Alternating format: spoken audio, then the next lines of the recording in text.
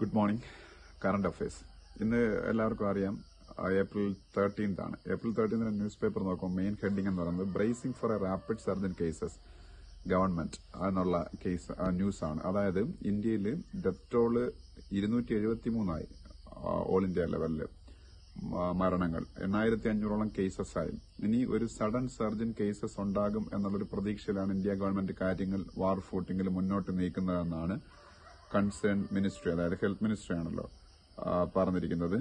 അപ്പം കൂടുതൽ റാപ്പിഡ് ആയിട്ടുള്ള ടെസ്റ്റിങ്ങും അഗ്രസീവ് ആയിട്ടുള്ള ടെസ്റ്റിങ്ങും ഒക്കെ നടത്താൻ പോവുകയാണ്. പിന്നീട് നിംഹാൻസ് ഉൾപ്പെടെയുള്ള ഹോസ്പിറ്റൽസ് അതിനു വേണ്ടിയിട്ട് റെഡിയാണെന്നാണ്. എയിംസ് എല്ലാവർക്കും അറിയാം all India institute of medical science ഇന്ത്യയിൽ ഒരുപാടുണ്ടെങ്കിലും ഡൽഹിയാണ് ഏറ്റവും famous. NIMHANS N I M H A N S NIMHANS national institute of mental health and neuro sciences national institute of mental health and neuro sciences ആണ് NIMHANS അത് ബംഗളൂരുവിലാണ് പിന്നെ I C M R ഇതിന്റെ പ്രധാനപ്പെട്ട പങ്ക് വഹിക്കുന്ന ടെസ്റ്റിംഗിന്റെ I C M R Indian council of medical research എല്ലാവർക്കും അറിയാം. പിന്നീട് അതാണ് എന്റെ മെയിൻ ന്യൂസ് എന്ന് പറയുന്നത്. പിന്നീട് അവിടെ നമുക്ക് നോക്കാനുള്ള പ്രധാനപ്പെട്ട മറ്റൊരു ന്യൂസ് ഫ്രണ്ട് പേജിലുള്ള പാൻഡമിക് ഇമ്പാക്ട് മൂലം first batch of Rafales likely to fly in late India ഫ്രാൻസിന്റെ കയ്യിൽ നിന്ന് വാങ്ങുന്ന M M R C A ആണ് medium multirole combat aircraft M M R C A expansion medium multirole combat aircraft ആണ് Rafale ആ Rafale വരാൻ വൈകും എന്നാണ്. അതിന്റെ കാരണം എന്ന് പറയുന്നത് ഈ പറഞ്ഞ കോവിഡ് പ്രോബ്ലം മൂലമുള്ള ലോക്ക്ഡൌൺസ് ആണ് എല്ലാ കൺട്രീസിലും ഫ്രാൻസിലൊക്കെ വലിയ പ്രോബ്ലമാണ്. പിന്നെ യു എസ് അവരുടെ രാജ്യത്ത് താമസിക്കുന്ന മറ്റ് രാജ്യത്തെ സിറ്റിസൺസിന് ഈ കോവിഡിന്റെ പശ്ചാത്തലത്തിൽ തിരിച്ചെടുത്തില്ലെങ്കിൽ ആ രാജ്യങ്ങൾക്കെതിരെ വിസ സാങ്ഷൻസ് ഏർപ്പെടുത്തുമെന്നാണ് പറഞ്ഞത്. അത് ഇന്ത്യയും ബാധിക്കും. ഇന്ത്യക്കാരെ ഒരുപാട് പേര് യു എസിലുണ്ട്. പക്ഷേ ഇന്ത്യ ഇപ്പോൾ ഇന്റർനാഷണൽ ഫ്ലൈറ്റുകൾക്ക് ബാൻ ഏർപ്പെടുത്തിയിരിക്കുന്നത് അവർ തിരിച്ചെടുക്കാൻ നിർവാഹമില്ല. അപ്പോൾ ഇന്ത്യ യു എസ് ആയിട്ട് ടോക്ക് നടത്തിയാണ് ഒരു ന്യൂസ് ഉണ്ട് അത് അത്രയാണ് നമുക്ക് ഫ്രണ്ട് പേജിൽ എഴുതിയെടുക്കാനുള്ള എഴുതിയെടുക്കാനും വായിക്കാനും ഉള്ള ന്യൂസുകൾ. പിന്നീട് സൗത്ത് പേജിലേക്ക് ഫിഫ്ത് പേജിലേക്ക് പോകുമ്പോൾ no spitting in public places. സിംഗപ്പൂരിലൊക്കെ നമ്മൾ പോയാലേ ഒരു നമ്മൾ പണ്ടേ സിംഗപ്പൂരിനെ കുറിച്ച് ഭയങ്കര ഇതായിട്ട് പറയുന്ന അതിശയത്തോട് പറയുന്നത് അവിടെ സ്പിറ്റിംഗ് പബ്ലിക് പ്ലേസിൽ നടത്തി കഴിഞ്ഞാൽ വലിയ ഫൈനാണ്. ഫൈവ് ഹൺഡ്രഡ് ഡോളർ ഡോളറൊക്കെ സിംഗപ്പൂർ ഡോളറൊക്കെയാണ് ഫൈൻ. ഇനി ഈ കോവിഡിന് ശേഷമുള്ള ലോകം എസ്പെഷ്യലി ഇന്ത്യ പഴയതുപോലെ ആവാൻ സാധ്യതയില്ല. ഈ സ്പിറ്റിങ്ങും മറ്റു കാര്യങ്ങളൊക്കെ പബ്ലിക് പ്ലേസസിൽ സ്പിറ്റിംഗ് ഒക്കെ ഇന്ത്യയിലേക്ക് വലിയ സ്ട്രിക്റ്റ് ആയിട്ടുള്ള പണിഷ്മെന്റ് നേരിടും. അതിനുള്ള ലക്ഷണങ്ങളാണ് കാണുന്നത്. അതാണ് ആന്ധ്രാപ്രദേശൊക്കെ പബ്ലിക് പ്ലേസസിൽ സ്പിറ്റിംഗ് ചെയ്താൽ അത് ചാർജബിൾ ആയിട്ടുള്ള ഓഫൻസ് ആക്കി മാറ്റിയാണ്. അപ്പം പോസ്റ്റ് കോവിഡ് നയന്റീൻ ഇന്ത്യ എന്നൊക്കെ പറയുന്നത് ഹൈജീന്റെ കാര്യത്തിലൊക്കെ വളരെയധികം ശ്രദ്ധയായിരിക്കും. ഹാൻഡ് വാഷിങ്ങും അതുപോലെ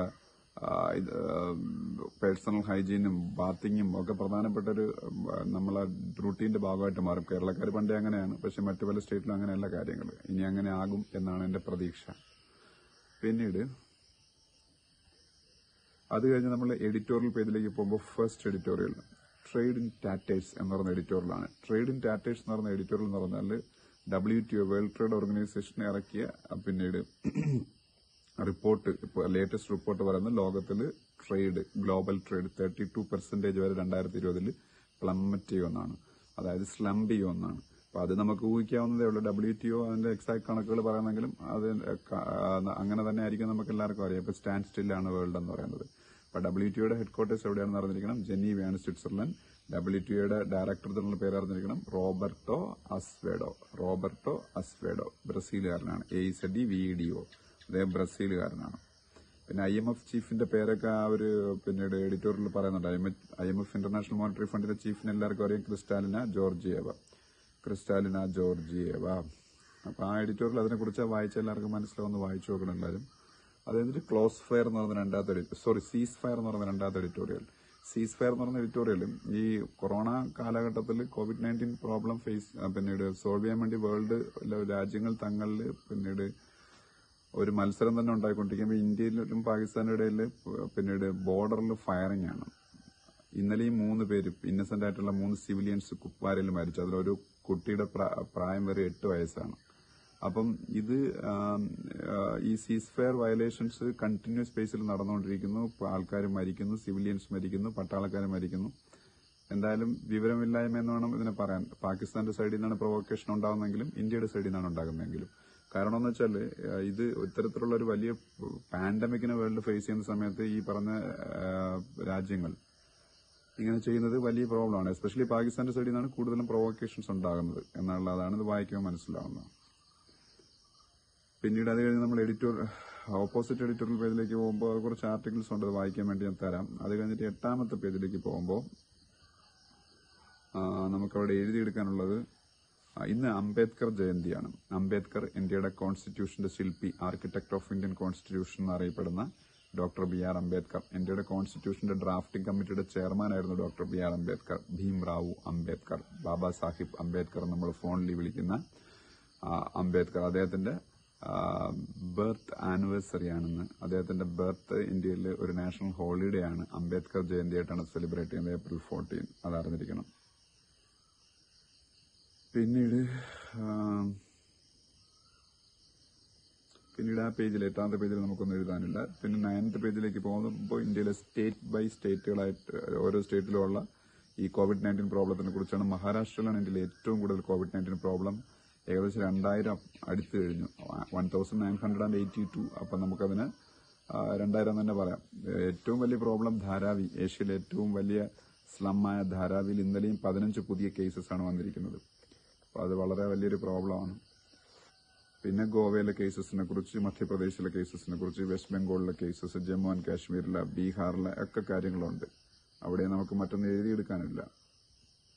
പിന്നീട് അത് കഴിഞ്ഞ് നമ്മൾ ടെൻത്ത് പേജിലേക്ക് പോകുമ്പോൾ ടെൻത്ത് പേജിൽ enough grains for nine months എന്നാണ് പസ്വാൻ പറഞ്ഞത്. ഇന്ത്യയിലെ ഇന്ത്യക്കാർ പേടിക്കേണ്ട ഒമ്പത് മാസത്തേക്കുള്ള ഇനഫ് ആയിട്ടുള്ള സ്റ്റോക്ക് ഇപ്പോൾ ഫുഡ് കോർപ്പറേഷൻ ഓഫ് ഇന്ത്യയുടെ കയ്യിലുണ്ടെന്ന് ഇന്ത്യയുടെ public distribution system minister food മിനിസ്റ്ററായ Ramvilas Paswan പറഞ്ഞിരിക്കുന്നു. രാംവിലാസ് പസ്വാനാണ് ഇന്ത്യയുടെ food and public distribution system minister അദ്ദേഹം ബി ജെ പി അല്ല അദ്ദേഹത്തിന് ബി ജെ പിയുടെ സഖ്യകക്ഷിയാണ് ലോക് ജനശക്തി പാർട്ടി. അദ്ദേഹത്തിന്റെ പേര് പാർട്ടിയുടെ പേരറിഞ്ഞിരിക്കണം ലോക് ജനശക്തി പാർട്ടി. അത് ബീഹാറിലെ ഒരു റീജിയണൽ പാർട്ടിയാണ് ബീഹാറിലെ പാർട്ടിയാണ്.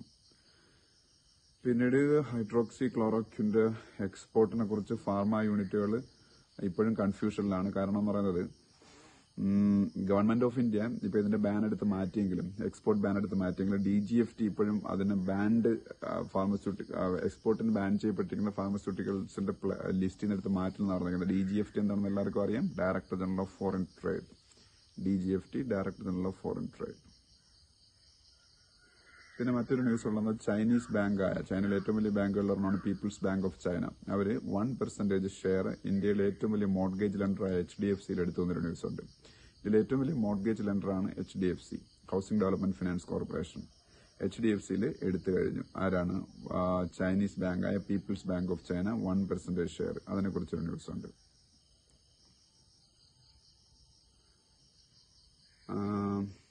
പിന്നീട് അവിടെ നമുക്ക്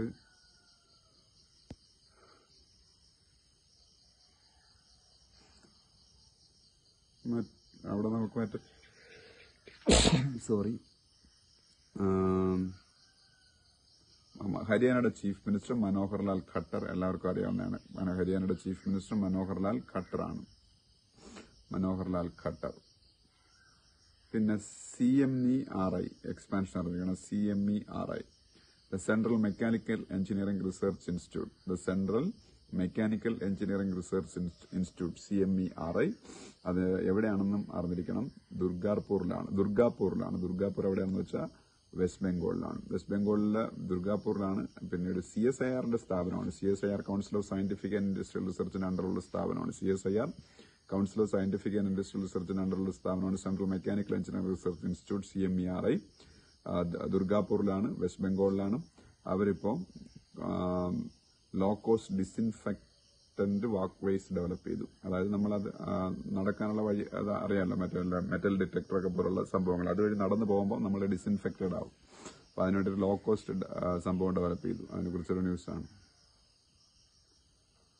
ഈ N S C I confederation of Indian industries ആവശ്യപ്പെട്ടിരിക്കുന്നു. Stimulus must proceed lifting of lockdown lifting lockdown lift ചെയ്യുന്നതിന് മുമ്പായിട്ട് ഇൻഡസ്ട്രീസിന് stimulus package കൊടുക്കണമെന്നാണ് C I A confederation of Indian industries പറഞ്ഞിരിക്കുന്നത്. C I confederation of Indian ഇൻഡസ്ട്രീസിന്റെ director ജനറലാണ് Chandrajit Banerjee. C I confederation of Indian ഇൻഡസ്ട്രീസിന്റെ director general Chandrajit ബാനർജിയാണ് C ഐയുടെ president Vikram Kirloskar ആണ്. വിക്രം കിർലോസ്കർ.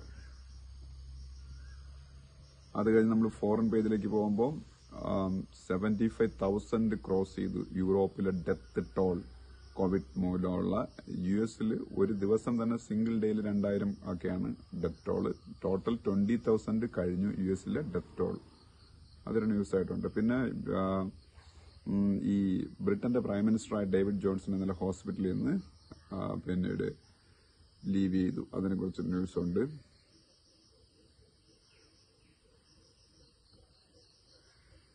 പിന്നീട് Julian അസാഞ്ചിനെ കുറിച്ചുള്ള news ഉണ്ട് ജൂലിയൻ അസാഞ്ച്. ജൂലിയൻ അസാഞ്ച് ആരാണെന്ന് എല്ലാവർക്കും അറിയാം.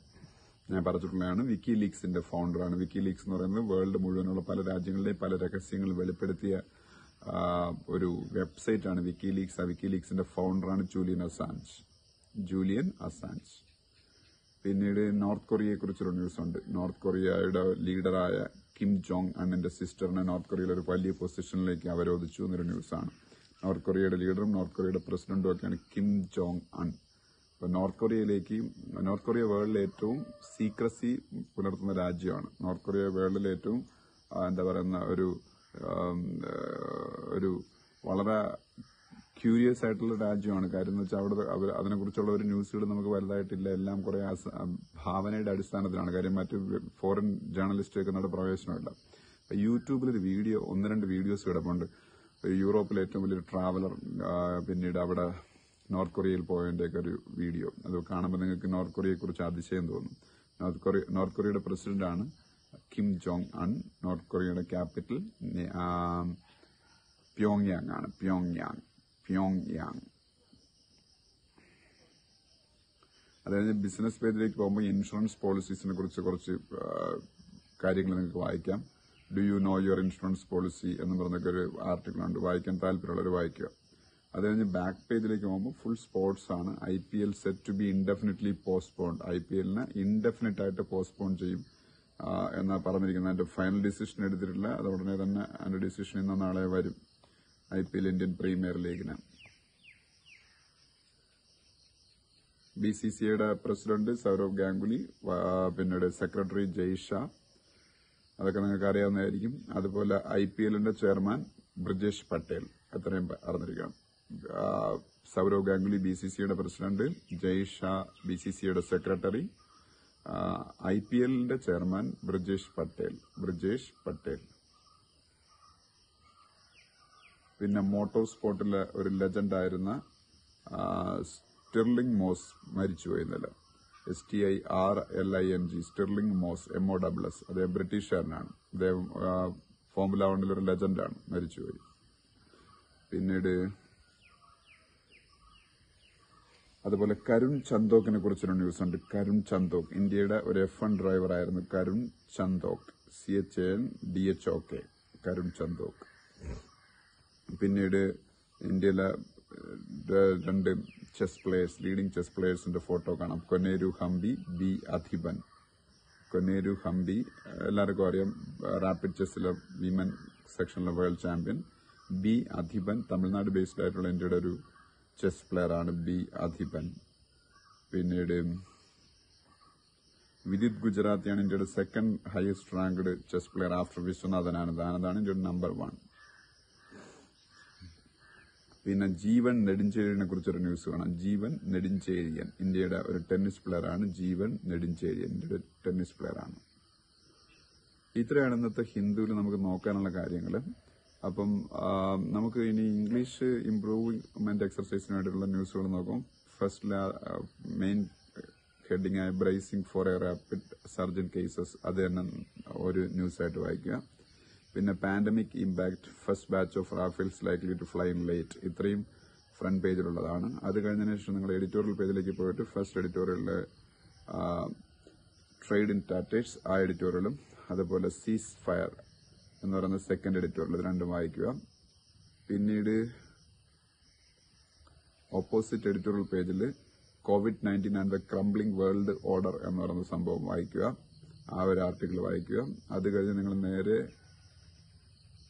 ബിസിനസ് പേജിൽ പോയിട്ട് do you know your insurance policy എന്ന് പറയുന്ന ആർട്ടിക്കിൾ വായിക്കുക. ഇത്രയും ആണ് നിങ്ങളുടെ ഇംഗ്ലീഷ് ഇംപ്രൂവ്മെന്റ് എക്സർസൈസിന് വേണ്ടിയിട്ടുള്ള ന്യൂസുകൾ. ഓക്കെ